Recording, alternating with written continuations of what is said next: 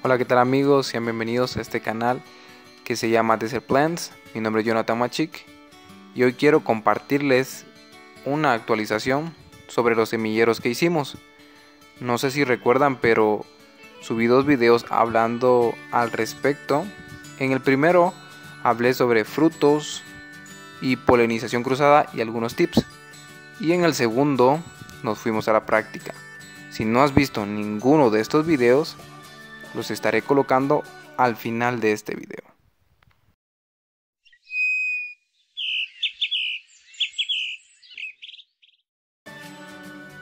Bueno, este es mi semillero en su primera semana.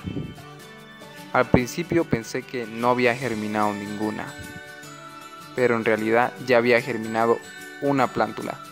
Si se dan cuenta, está al fondo, muy pequeña en esta parte aún no presentaba espinas, incluso mostraba su testa, el resto de la testa o la cáscara de la semilla. En la tercera semana eh, germinaron más, germinaron alrededor de 12, pero solo 7 sobrevivieron y ya presentaban pequeñas espinas. No sé si recuerdan, pero tenía dos semilleros uno era mamilaria janiana y el otro era florífera. Florífera germinó solo una semilla y se murió.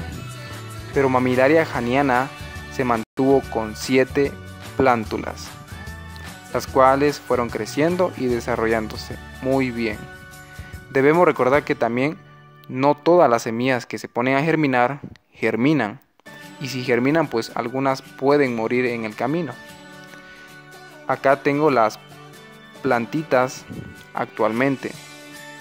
Ya casi van a cumplir cuatro meses y están bastante grandes, con sus espinas centrales y radiales. También quiero saber cómo les ha ido a ustedes, si lo intentaron, si se animaron y cuál ha sido su tasa de éxito. No olviden compartir este video con sus amigos y nos vemos a la próxima.